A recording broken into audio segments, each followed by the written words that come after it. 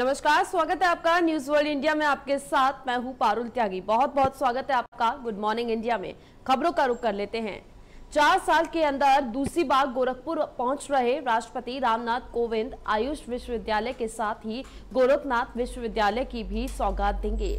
उनके आगमन को लेकर तैयारियाँ पूरी कर ली गई हैं। बता दें, राष्ट्रपति आज सुबह दस बजकर चालीस मिनट पर सेना के वायुसेना से वायु विमान से गोरखपुर एयरपोर्ट पर पहुँचेंगे और वहाँ से वायुसेना के हेलीकॉप्टर से वो ग्यारह बजकर दस मिनट पर भटहट के पिपरी जाएँगे, जहाँ पर वो प्रदेश के पहले आयुष विश्वविद्यालय की आधारशिला भी रखेंगे। राष्ट्रपति यहाँ पर जनसभा को भी संबोधित करेंगे और करीब एक घंटे के बाद वो हेलीकॉप्टर से महायोगी गुरु गोरक्षकनाथ विश्वविद्यालय पहुँचेंगे। वहीं दोपहर बारह बजकर पंद्रह मिनट पर उनका हेलीकॉप्टर विश्वविद्यालय परिसर में लैंड करेगा और दोपहर बारह बजकर पच्चीस मिनट से एक बजकर दस मिनट तक वो विश्वविद्यालय के लोकार्पण के साथ ही जनसभा को भी संबोधित करेंगे। इसके बाद दोपहर करीब दो घंटे का समय सुरक्षित है और इस दौरान राष्ट्रपति ज़िले के कुछ जनप्रतिनिधियों, व्यापारियों और उद्योगियों से मुलाकात भी करने के साथ ही भोजन भी वहीं करेंगे। वहीं दोपहर तीन बजकर पंद्रह मिनट पर राष्ट्रपति लखनऊ प्रस्थान करेंगे और उधर राष्ट्रपति के आगमन को लेकर शुक्रवार को पूरे दिन गोरखपुर एयरपोर्ट से लेकर दोनों कार्यक्रम स्थल पर तैयारियाँ चलती ही रही, जिसे देर शाम को अंतिम रूप दिया गया था।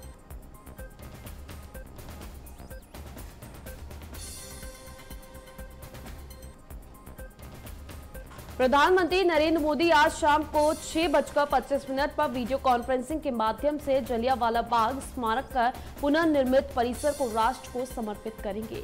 पीएम मोदी स्मारक में निर्मित संग्रहालय का भी उद्घाटन करेंगे और इस आयोजन के दौरान समूचे परिसर को उन्नत करने के लिए सरकार द्वारा की गई अनगिनत विकास पहलों को भी दर्शाया जाएगा। इस मौके पर केंद्रीय संस्कृति मंत्री, केंद्रीय आवासन और शहरी कार्य मंत्री, संस्कृति राज्य मंत्री, पंजाब के राज्यपाल और मुख्यमंत्री, हरियाणा, उत्तराखंड और हिमाचल प्रदेश के मुख्यमंत्री, पंजाब के सभी लोकसभा और राज्यसभा सांसद, जलियावाला बाग राष्ट्रीय स्मारक न्यास के सदस्यगण उपस्थित रहेंगे और ऐसे में लंबे समय से बेकार पड़ी और कम उपयोग वाली इमारतों का दोबारा से अनुकूल इस्तेमाल सुनिश्चित करने के लिए संग्रहालय की निर्मित की गई है। और ये दीर्घाय बता दें कि अवधि के दौरान भी पंजाब में घटित कई घटनाओं के विशेष ऐतिहासिक महत्व को भी दर्शाती हैं। इन घटनाओं को दिखाने के लिए श्रव्य दृश्य प्रौद्योगिकी के माध्यम से प्रस्तुति दी जाएगी, जिसमें मैपिंग और थ्री चित्रण के साथ साथ कला और मूर्ति कला अधिष्ठानपन भी किया जाएगा। बता दें 13 अप्रैल 1919 को घटित कई घटनाओं को दर्शाने के लिए एक साउंड एंड लाइट शो की व्यवस्था भी इसमें की गई है। तो बता दें, आज प्रधानमंत्री नरेंद्र मोदी शाम को छह बजकर पच्चीस मिनट पर वीडियो कॉन्फ्रेंसिंग के ज़रिए जलियावाला बाग का नया परिसर राष्ट्र को समर्पित करने वाले हैं और ऐसे में पंजाब, हरियाणा और उत्तराखंड, हिमाचल समेत कई मंत्री, मुख्यमंत्री शामिल भी रहेंगे। सभी वीडियो कॉन्फ्रेंसिंग के ज़रिए जुड़ेंगे और ऐसे में प्रधानमंत्री भी वीडियो कॉन्फ्रेंसिंग के ज़रिए इस कार्यक्रम से जुड़ेंगे।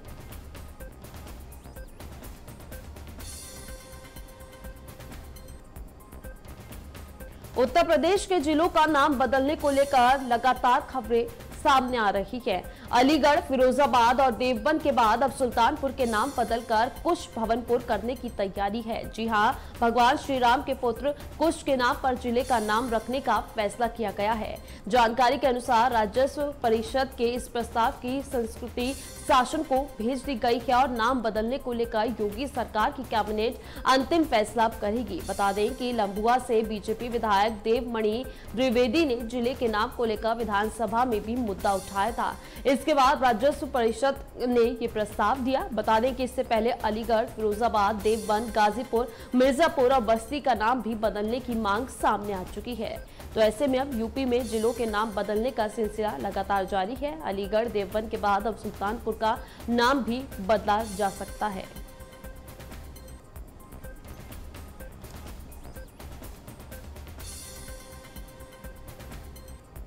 चलिए आगे बढ़ते हुए रुक करेंगे अगली खबर का।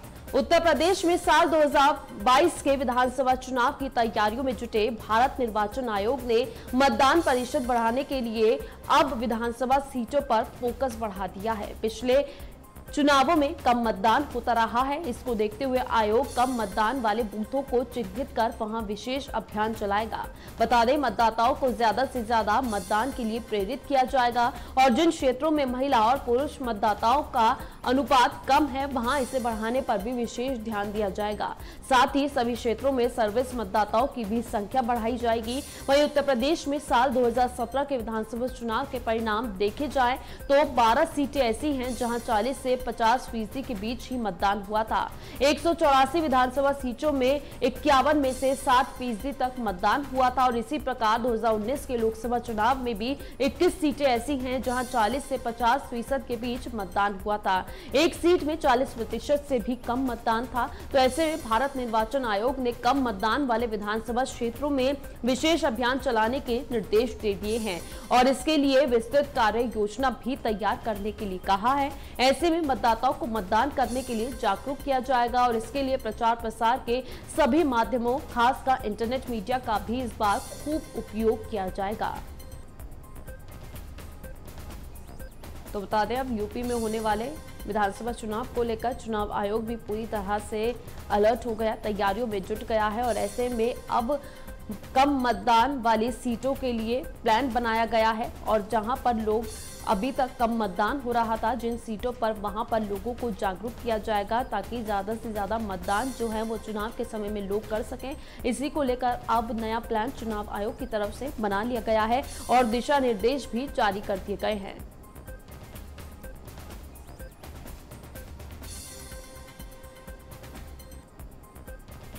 यूपी, बिहार, राजस्थान, गुजरात, हरियाणा समेत कई राज्यों के स्कूल खोलने के फैसले के बाद अब दिल्ली सरकार ने भी एक सितंबर से स्कूलों को फिर से खोलने का ऐलान कर दिया है। 27 अगस्त को दिल्ली आपदा प्रबंधन प्राधिकरण और एक्सपोर्ट कमेटी की बैठक के बाद राज्य में स्कूल खोलने का फैसला लिया गया है। बता दें, दिल्ली के उप मुख्यमंत्री और राज्य शिक्षा मंत्री मनीष सिसोदिया का कहना है कि फ़िलहाल सीनियर स्टूडेंट्स यानी कि कक्षा नौ से बारहवीं तक के छात्र ऑफलाइन क्लासेस के लिए स्कूल आ सकते हैं। उन्होंने ये भी कहा कि स्टूडेंट्स अपने पेरेंट्स की परमिशन लेकर स्कूल आए और कोई भी स्कूल स्टूडेंट्स पर दबाव नहीं बनाएगा। वहीं डिप्टी सीएम के मुताबिक दिल्ली सरकार के एक सर्वे में पाया गया है कि लगभग 70 प्रतिशत माता पिता फिर से स्कूल खोलने के पक्ष में है और ऐसे में दिल्ली डिजास्टर मैनेजमेंट अथॉरिटी और राज्य में कोविड 19 संक्रमित मामलों को ध्यान में रखते हुए एक्सपर्ट कमेटी के साथ मिलकर फिर से स्कूल खोलने को लेकर फैसला कर लिया है। तो ऐसे में दिल्ली में अब एक बार फिर लंबे समय के बाद स्कूल खुलने वाले हैं और एक सितंबर से कक्षा नौ से बारहवीं तक के स्कूल खुलेंगे। बैठक हुई थी जिसमें ये फैसला लिया गया है। साथ ही मनीष सिसोदिया की तरफ़ से ये कहा गया है कि पेरेंट्स की अनुमति के बाद ही बच्चे स्कूल आए और कोई भी स्कूल बच्चों पर स्कूल आने का दबाव नहीं बनाएगा। तो बता दें, अब दिल्ली में एक बार फिर से लंबे समय के बाद स्कूल खुलने वाले हैं और पहले कक्षा नौ से बारहवीं तक के स्कूल खुलेंगे। और पिछले काफ़ी समय से कोरोना की दूसरी लहर जब से देश में आई थी, तब से स्कूलों को फिर से बंद कर दिया गया था। तो अब काफ़ी लंबे समय से कई महीनों बाद दिल्ली में स्कूल जो हैं, वो खोल दिए जाएँगे। एक सितंबर से फैसला लिया गया है ये बैठक में। और ऐसे में कोरोना के मामले जब कम हुए हैं तो इसको देखते हुए ये फैसला लिया गया है, क्योंकि अब दिल्ली में कोरोना संक्रमण बेहद ही कम हो गई है और ऐसे में कोरोना के मामले दिल्ली में अब बहुत ज़्यादा कम हो गए हैं, जिसको देखते हुए ये फैसला लिया गया है कि एक बार फिर से पहले सीनियर स्कूल खोल दिए जाएँ, सीनियर स्टूडेंट्स के लिए, जिसमें नौवीं से बारहवीं तक, कक्षा तक के बच्चे जो हैं, वो स्कूल पहुँचेंगे। आज डीडीएम की बैठक हुई और सब इस बात पर सहमत थे कि अब हमें इस बारे में भी निर्णय लेना चाहिए कि जैसे जैसे इकोनॉमिक एक्टिविटी खुली है और करीब करीब दिल्ली में सारी एक्टिविटीज़ खुल गई हैं इकोनॉमी से संबंधित। वैसे ही अब हमें एजुकेशन की अपनी एक्टिविटीज़ को भी पटरी पर लाना चाहिए, क्योंकि एजुकेशन को काफ़ी नुकसान हो चुका है। हम चाहे जो कहें, लेकिन ऑनलाइन एजुकेशन कभी भी ऑफलाइन एजुकेशन का विकल्प नहीं हो सकती। इस बात को सब टीचर्स मानते हैं, बच्चे मानते हैं एक्सपर्ट्स मानते हैं कि जो पढ़ाई स्कूल में आके होती है, वो कभी भी घर पे बैठ के ऑनलाइन कमरों में ऑनलाइन बैठ के तो हो ही नहीं सकती है। और सब मानते हैं कि एजुकेशन का काफ़ी नुकसान हुआ है, इसलिए आज इस बारे में निर्णय लिया गया कि दिल्ली में स्कूल, कॉलेज, कोचिंग एक्टिविटीज़ शुरू की जाएँ, पूरी सावधानी के साथ शुरू की जाएँ, और ख़ास तौर से जब स्कूल की बात आए तो धीरे धीरे शुरू की जाएँ। जैसे इकोनॉमिक एक्टिविटीज़ धीरे धीरे शुरू की थी, वैसे ही स्कूल खोलने की एक्टिविटी भी धीरे धीरे शुरू हो। तो एक सितंबर से दिल्ली में नवीं से बारहवीं के स्कूल और उस एज ग्रुप के बच्चों की कोचिंग या उससे बड़े बच्चों की कोचिंग सेंटर्स और साथ साथ सभी कॉलेजेस खोलने के लिए इजाज़त दे दी जाएगी। और सभी कॉलेजेस खोले जा सकते हैं यूनिवर्सिटीज़ खोली जा सकती हैं, सभी कोचिंग सेंटर्स खोले जा सकते हैं नवीं से बारहवीं के सभी गवर्नमेंट प्राइवेट स्कूल खोले जा सकते हैं। यहाँ पर ये बहुत ज़रूरी है कि जो भी स्कूल खोला जाएगा, जो भी कॉलेज खोला जाएगा कोचिंग इंस्टीट्यूट खोला जाएगा, वहाँ पर सोशल डिस्टेंसिंग का बहुत सख्ती से पालन हो और किसी भी बच्चे को बाध्य नहीं किया जाएगा स्कूल आने के लिए। देश में कोरोना महामारी के खिलाफ तेज गति से वैक्सीनेशन अभियान चल रहा है। शुक्रवार को पहली बार देश में एक दिन में एक करोड़ से ज़्यादा कोरोना वैक्सीन की डोज लगाई गई है। देर रात एक करोड़ से ज़्यादा डोज का आंकड़ा पार कर देश ने इतिहास रच दिया है। इस उपलब्धि पर प्रधानमंत्री नरेंद्र मोदी ने भी लोगों को बधाई दी है। प्रधानमंत्री नरेंद्र मोदी ने खुशी जताते हुए ट्वीट किया है कि आज रिकॉर्ड टीकाकरण हुआ और एक करोड़ के पार करना एक महत्वपूर्ण उपलब्धि है। टीका लगवाने वालों और टीकाकरण अभियान को सफल बनाने वालों को बधाई। मालूम हो कि देश में अब तक कभी भी एक करोड़ से ज़्यादा एक दिन में कोरोना का टीका नहीं लगाया गया था। पिछले साल देश में कोरोना महामारी के दस्तक देने के बाद से ही वैक्सीन बनाने की प्रक्रिया की शुरुआत हो गई थी। इस साल जनवरी महीने में सरकार ने सबसे पहले पुणे स्थित company Serum Institute of India की कोविशील्ड और फिर भारत बायोटेक की कोवैक्सीन को मंजूरी दे दी थी। जिसके बाद जनवरी मध्य से टीकाकरण भी शुरू हो गया था। तो अब एक बार फिर भारत ने टीकाकरण की रफ्तार में ये इतिहास रच दिया है और एक दिन में एक करोड़ से ज़्यादा लोगों को टीका लगाया गया है, जिसको लेकर प्रधानमंत्री नरेंद्र मोदी ने भी ट्वीट किया और ट्वीट करते हुए उन्होंने सभी को बधाई दी है और उन्होंने कहा है कि रिकॉर्ड वैक्सीनेशन नंबर टुडे यानी कि एक दिन में रिकॉर्ड बना लिया। भारत ने इतना ज़्यादा वैक्सीनेशन लोगों को लगाकर।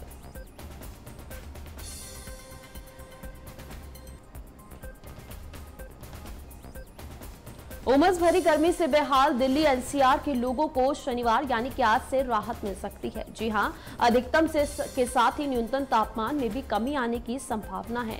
अगले 24 घंटे में बादल छाए रहने के साथ देर रात तक बारिश की उम्मीद है, जिसका सिलसिला तीन दिनों तक जारी रहेगा।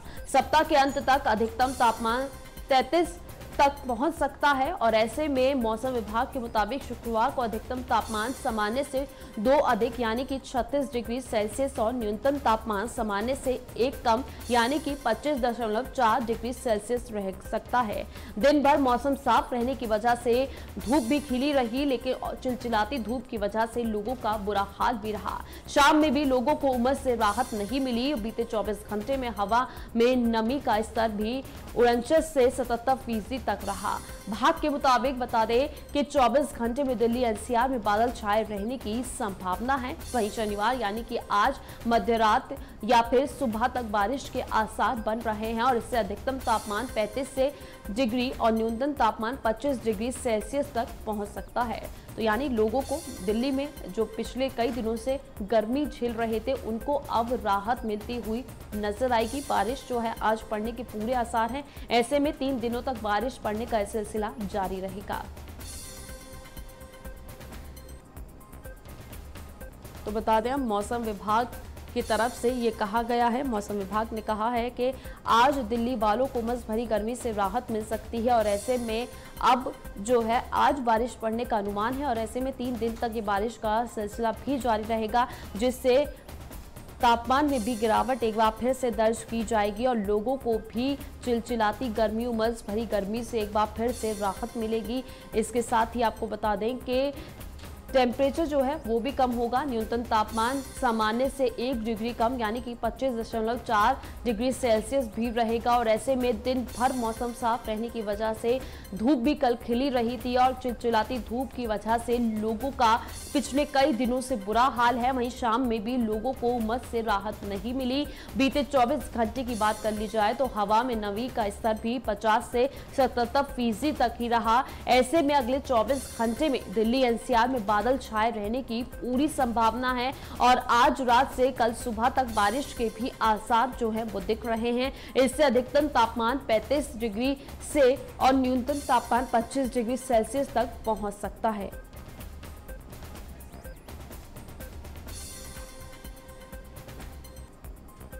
भारत और इंग्लैंड के बीच लॉर्ड्स के हेंडिंग ग्ले क्रिकेट ग्राउंड पर खेला जा रहा तीसरा टेस्ट बेहद ही रोमांचक रह गया था। तीसरे दिन बता दें, खेल खत्म होने तक भारत ने दूसरी पारी में दो विकेट पर 215 रन बना दिए हैं। ऐसे में भारत की ओर से इसे शानदार वापसी कहा जा सकता है। लेकिन पहली पारी में तीन सौ चौवन रनों की बढ़त हासिल करने वाली इंग्लैंड की टीम मैच में कभी भी आगे बनी हुई है। ऐसे में भारत पहली पारी के स्कोर के आधार पर इंग्लैंड से अभी भी 140 रन पीछे है। और अभी तक बताते स्टंप्स तक गुजारा 180 गेंदों पर 15 चौकों की मदद से इक्यानवे और कप्तान विराट कोहली चौरानवे गेंदों पर छह चौकों के सहारे 45 रन बनाकर क्रीज पर मौजूद रहे। ऐसे में इंग्लैंड की ओर से ओली रॉबिन्सन और क्रेक ओवरटोन को अब तक एक एक विकेट मिला है और ऐसे में इंग्लैंड को पहली बार ऑल आउट करने के बाद उतरी टीम इंडिया ने संभल कर खेलना शुरू कर दिया था। इंग्लैंड के गेंदबाजों ने भारतीय बल्लेबाजों पर दबाव बनाने की भरपूर कोशिश की और इस बीच ओवरटोन ने लोकेश राहुल को आउट का भारत को पहला झटका दिया। राहुल ने बता दें, चौरानवे गेंदों में खेलकर आठ रन बनाए। तो ऐसे में मैच जो है, भारत और इंग्लैंड के बीच काफ़ी रोमांचक बना हुआ है।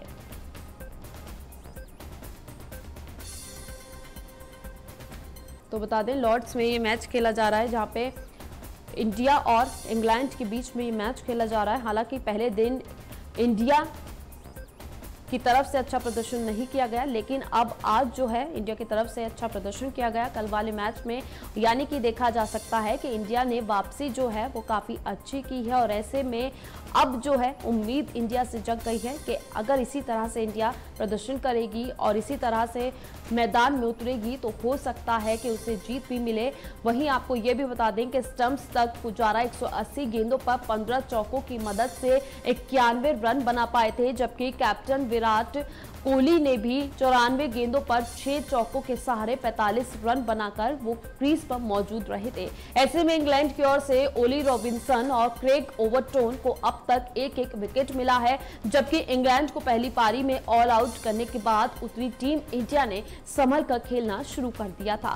वहीं इंग्लैंड के गेंदबाजों ने भारतीय बल्लेबाजों पर भरपूर दबाव बनाने की कोशिश भी की, लेकिन भारतीय बल्लेबाज भी पूरी तरह से डटे रहे, टिके रहे और इस बीच ओवरटोन जोन ने लोकेश राहुल को आउट कर भारत को पहला झटका दिया था। राहुल ने चौरानवे गेंदे खेलकर आठ रन बनाए थे। तो यानी कि ये मैच जो है बेहद ही रोमांचक होता नज़र आ रहा है।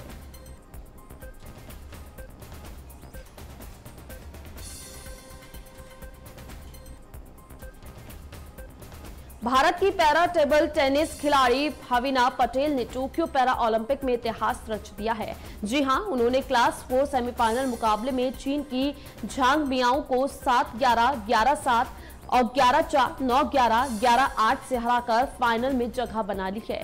इससे पहले शुक्रवार को भाविना ने क्वार्टर फाइनल में सर्बिया की खिलाड़ी बेरिसलावा पेरिच को भी 17 मिनट तक चले मुकाबले में 11 पाँच, ग्यारह छह, ग्यारह सात से हरा दिया था। उनके अलावा भारत के अन्य पैरा एथलीट, जिनमें श्याम सुंदर, राकेश कुमार और रंजीत भाटी शामिल हैं, ये सभी अलग अलग स्पर्धाओं में अपनी चुनौती पेश करेंगे। भारत की पैरा टेबल टेनिस खिलाड़ी भाविना पटेल ने टोक्यो पैरा ओलंपिक में इतिहास रच दिया है। उन्होंने क्लास फोर सेमीफाइनल मुकाबले में चीन की झांग मियाओं को हरा दिया है और इस ऐसे में अब अपनी जगह जो है फाइनल में बना ली है। तो पैरा ओलंपिक में भारत के पहली बार हुआ है कि ऐसे काफ़ी ज़्यादा संख्या में खिलाड़ी गए हैं। ऐसे में लगातार सभी खिलाड़ी अच्छा प्रदर्शन करते हुए नज़र आ रहे हैं। वहीं अब भाविना ने भी, पटेल ने भी अच्छा प्रदर्शन किया है और फाइनल में अपनी जगह बना ली है। बता दें झांग मियाओं को हराकर उन्होंने फाइनल में जगह बना ली। साथ ही साथ इतिहास भी ये रच दिया है। लगातार पैरालंपिक में पहुँचे भारतीय खिलाड़ियों का अच्छा प्रदर्शन देखा जा रहा है। तो ऐसे में अब भाविना पटेल ने ये इतिहास रच दिया है।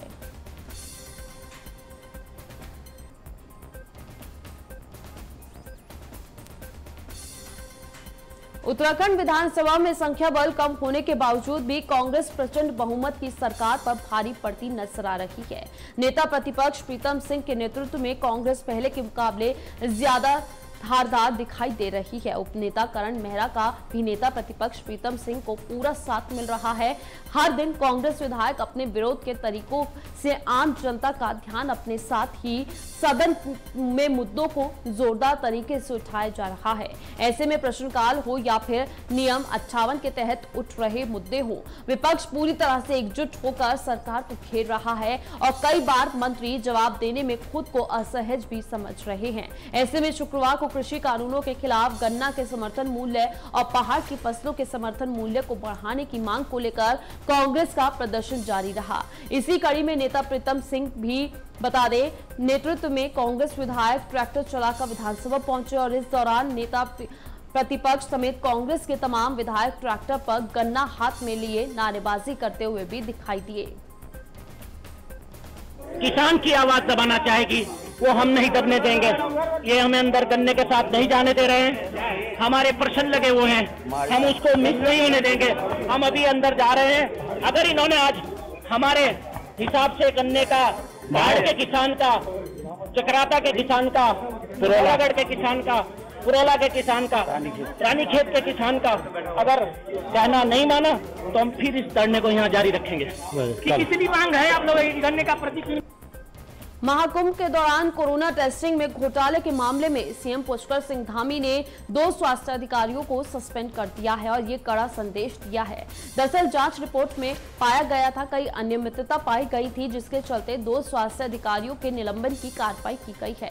सीएम पुष्कर सिंह धामी ने कहा कि जिस दिन मैंने पद और गोपनीयता की शपथ ली थी, उसी दिन से ही अनेक माध्यमों से मेरे पास जानकारी आई थी कि इसमें बड़े पैमाने पर गड़बड़ी हुई है, जिस पर हमने जाँच कराई, जिसमें कई लोग दोषी पाए गए, जिन पर यह कार्रवाई की गई है। लेकिन अभी भी जाँच की जा रही है और जो भी दोषी होगा, उसे बख्शा नहीं जाएगा।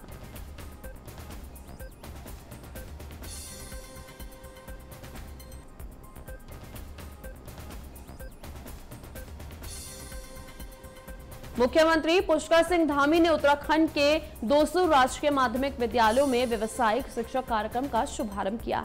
मुख्यमंत्री ने राज्य के कई विद्यालयों के छात्र छात्राओं अभिभावकों और अध्यापकों से वर्चुअल संवाद भी किया। वहीं इस मौके पर उत्तराखंड के शिक्षा मंत्री अरविंद पांडे भी सीएम के साथ मौजूद रहे। इस दौरान मुख्यमंत्री ने शिवानंद नोटियाल छात्रवृत्ति की राशि को ढाई सौ से बढ़ाकर पंद्रह रुपए करते और साथ ही इसके लाभान्वितों की संख्या को 11 से बढ़ाकर 100 करने की घोषणा की है।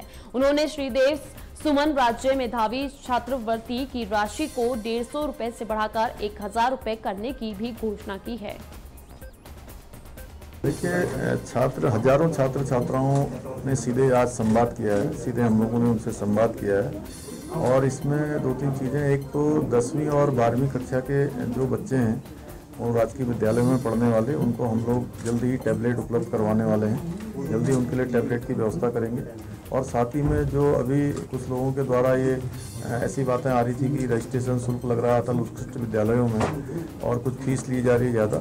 ऐसी कोई बात नहीं, कोई फ़ीस नहीं ली जा रही है, कोई शुल्क अलग से नहीं लिया जा रहा है। जो सामान्य प्रक्रिया के तहत जो उन विद्यालयों में प्रवेश होंगे, जिससे कि हमारे जो गरीब छात्र और छात्राएँ हैं जिनके पास साधन संसाधन नहीं है, वो बच्चे भी उन विद्यालयों में पढ़ पाएँगे। इसीलिए हमने वो विद्यालय बनाए हैं, इसीलिए उन विद्यालयों की स्थापना की है। इसी प्रकार से अनेकों विद्यालयों में जो हमारी छात्राएँ हैं, उनके लिए टॉयलेट की व्यवस्था नहीं होती है शौचालय नहीं होता है।